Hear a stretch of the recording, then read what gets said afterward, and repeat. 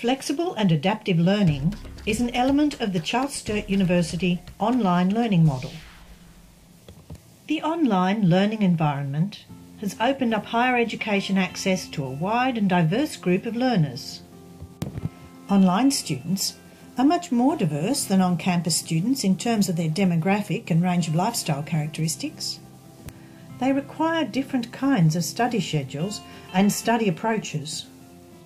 Many of these students are time poor and require higher degrees of flexibility than traditional higher education students of the past. Digital technology has enabled these students to achieve a higher level of self direction in their learning and to benefit from course and subject design that is increasingly flexible and adaptive. A key aspect of the online learning model is the idea that we need to think differently about the way we parcel up the content of courses in order to cater for this diverse range of students. This might include modularisation of content, badging to record prior experiences and capability for credit for components within subjects, or alternative scheduling of courses, such as intensive versions of courses or rolling enrolments. The other key element of personalised learning in the modern online context is the use of learning analytics and adaptive learning technologies to provide a more tailored learning experience for students. An array of emerging technologies enable the gathering of information about learners' knowledge, perceptions, and study behaviours. This information can be used by students and teachers to track understanding of a topic, progress through a subject, and engagement with the learning materials. Information about students can inform decisions that help students connect with university support services for academic or personal support.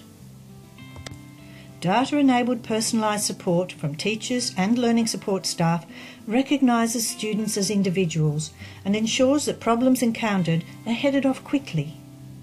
Learning systems and learning design can now be adapted to respond to students' needs.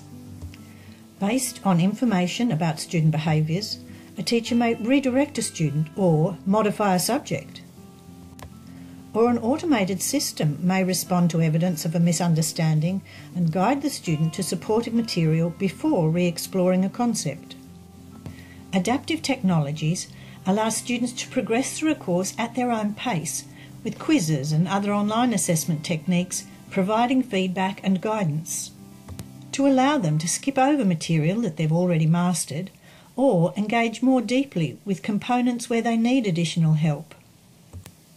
Personalised learning may be provided by flexible or adaptive lessons and resources that provide individualised pathways through content based on student knowledge, behaviours, and special needs.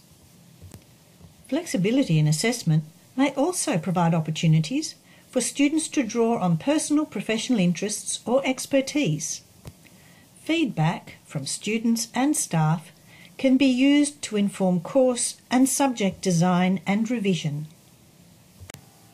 The diversity of contemporary online learning cohorts demand learning experiences that are designed for high engagement, but are flexible and adaptive to the needs of autonomous learners.